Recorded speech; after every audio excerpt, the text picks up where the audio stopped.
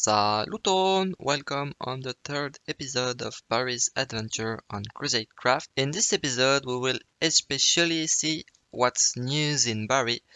I keep you a little PvP of the anti-Dynamap Hunter squad for the end. Before and during the truce we build a lot of machines. We have finished the sugarcane machine, add a pumpkin machine, add a cactus machine, add a mushroom machine, change the location of the spawners so that it is closer to the shop and the biggest change we create a giant village with villagers. They buy us pumpkin and sugarcane and they'll sell us golden carrots, golden melon, plus several nice books as mending. The villagers are reserved to the member of the city, but if you want to buy some enchanted book, there are plenty of them in the shop. The residential area at south of the city has also been considerably enlarged. We also welcomed a lot of new players.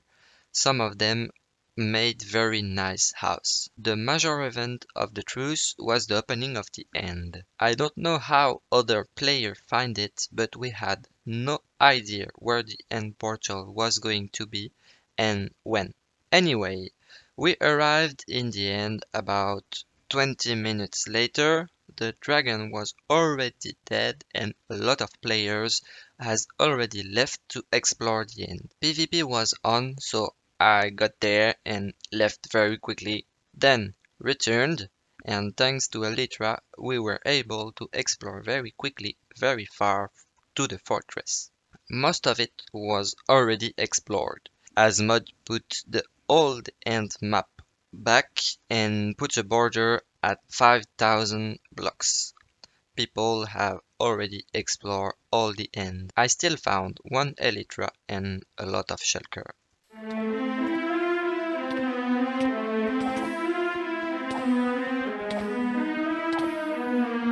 Il y a des blocs derrière moi, ouais. Tu m'aides, hein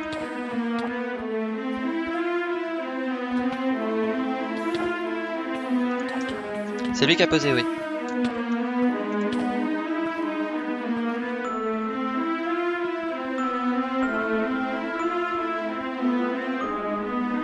Oh, ça lag